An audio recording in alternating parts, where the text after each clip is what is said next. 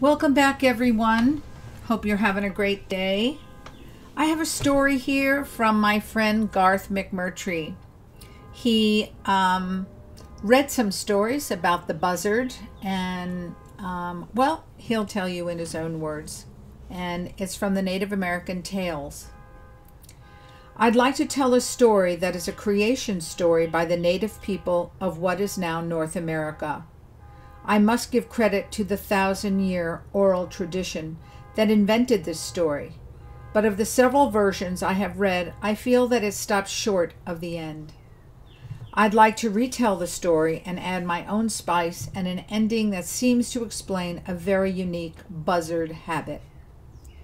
I recently picked up some buzzard feathers and then accidentally discovered this story online.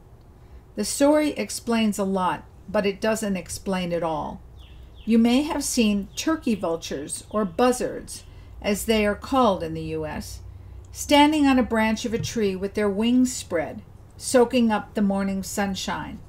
Well, this is why. Long ago, birds didn't have any clothes. They were naked and shy and hid and shivered in the cold. One day, they all got together and held a great council to talk about this problem they all shared and to see if they could find a solution. It was decided that one must go to Creator and ask Creator for clothes. Creator lived in the sun. It was far away and very high.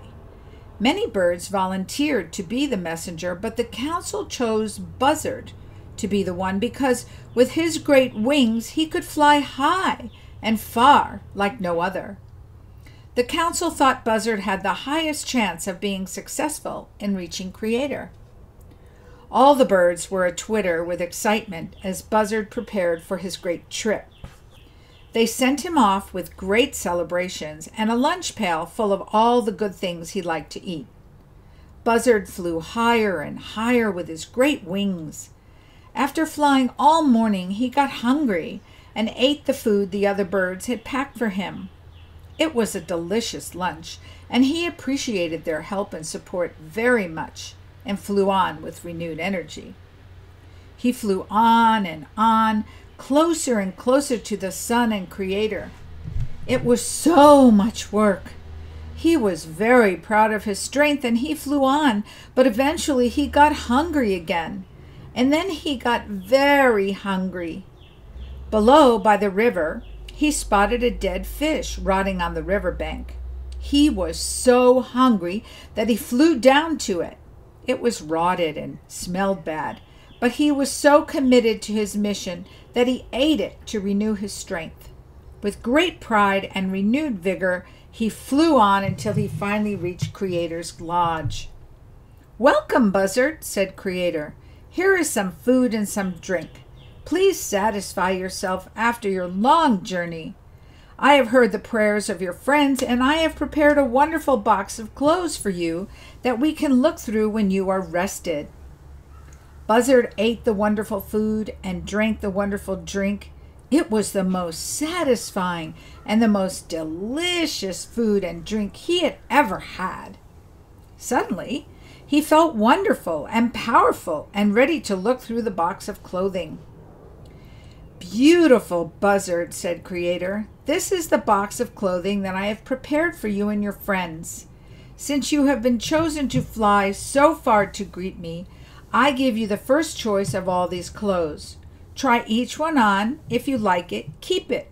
If you don't like it, take it off and drop it down to your friends for someone else to have. Buzzard was very excited to start looking through the box of clothing.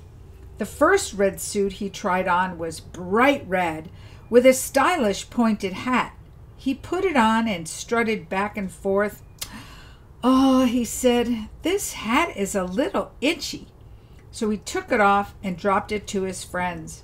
Cardinal picked it up and put it on and loved it. The next suit was blue and shiny, also with a stylish hat. He tried it on also, but he decided against suits with hats and threw it down, and Jay grabbed it with glee. He tried on a more subtle suit with a dark gray coat and a bright red breastplate. Oh, this one doesn't match so well, he said, and dropped it down so Robin could have it. Suit after suit he tried on, and there was always something he didn't like about them. For goodness sakes, he thought, I get first pick, so I need to choose the nicest suit. Buzzard was so engaged in finding the most beautiful suit that he didn't notice that the box was getting toward the bottom.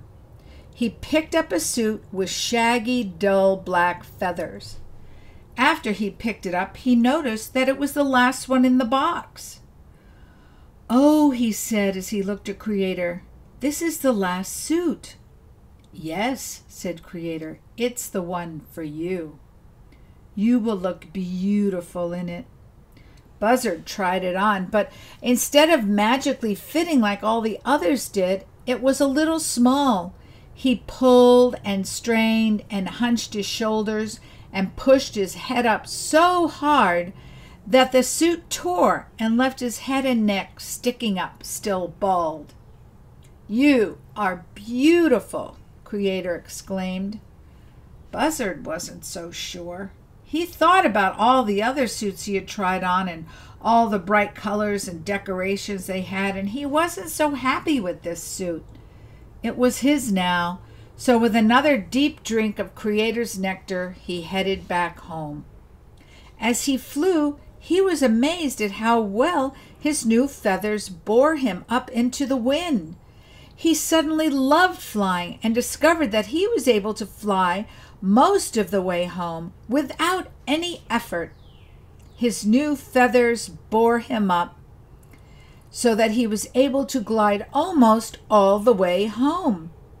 As he passed the river, he noticed the fish still lying on the river bank. He flew down to get some lunch. As he wiped his mouth after eating, he thought how nice it was that he could eat stinky fish without mussing up his new suit.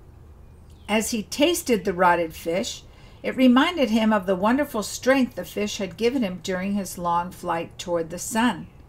The dead meat made him feel strong and important. Back home, the other birds were waiting for him. They saw him far away. That's him, said Robin excitedly. No, it can't be, said Crow. It must be a leaf in the wind. Its wings aren't moving. All the other birds started talking at once about the amazing thing they were seeing. It appeared to be Buzzard, but he was flying without flapping. Buzzard swooped low over the crowd, did a fast, high speed turn, and landed in their midst with only a single flap at the end to break his speed. The others burst into a loud cheering and surrounded him with love and appreciation for the great suits he had given them, all talking at once about his great flying skills, his beauty, and his bravery. Of course, all the other birds naturally assumed that he had chosen his suit over all the others and believed he was very proud of it. They praised him endlessly for his beauty, his bravery, and his flying skill. They were up way into the night telling stories and praising Buzzard. Buzzard completely forgot about his disappointment with his suit and began to believe that he was the most beautiful bird of all of them. He finally went to bed completely grateful and in love with Creator for giving him such a wonderful suit. Every morning now, Buzzard wakes up early and flies high into the tree. He spreads his wings to the sun to show Creator how proud he is of his beautiful, wonderful suit. The end. What a beautiful story. Thank you for listening. Please subscribe and tell your friends.